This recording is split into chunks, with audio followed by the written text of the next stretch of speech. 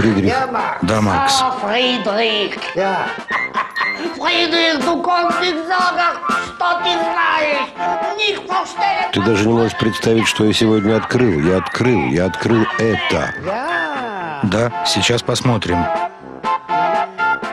Художник Александр Блох. Есть ли жизнь на Марксе?